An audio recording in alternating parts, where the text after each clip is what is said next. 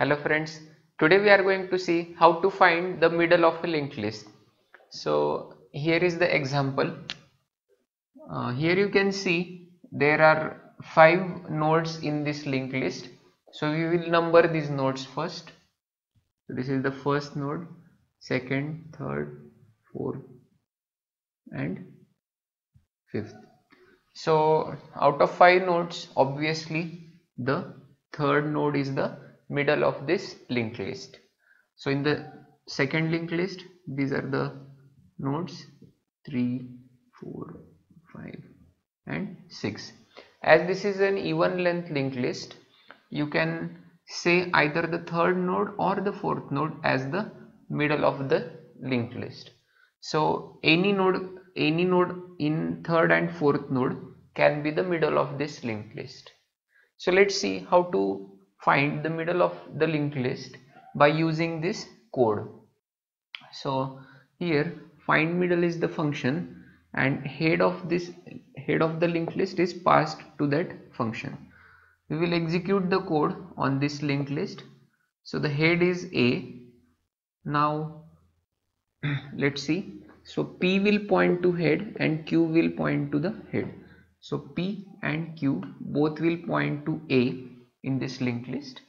Now let us see what the uh, code says. So it says while q and q gives next. So when q is present means it is not null and when q gives next is not null then we move p by one step and we move q by two steps. So let's see how to do this so we have to move p by one step and q by two steps. So q will come here. In the second iteration again we will check q and q gives next.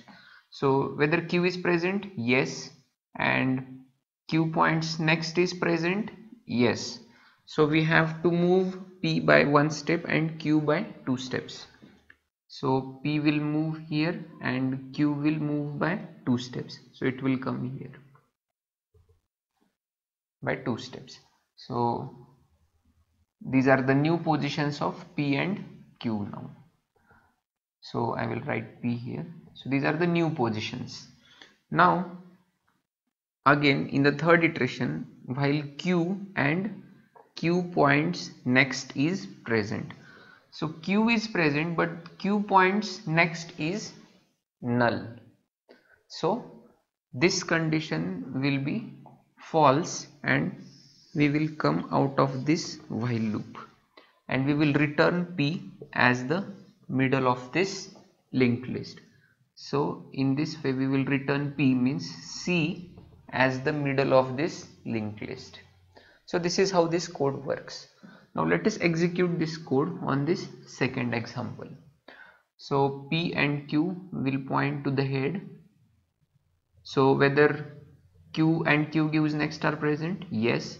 So let's move p by one step and q by two steps.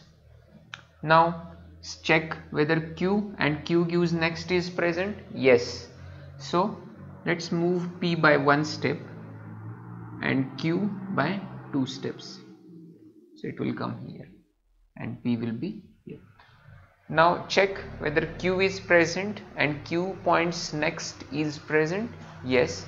So we'll move p by one step and q by two steps.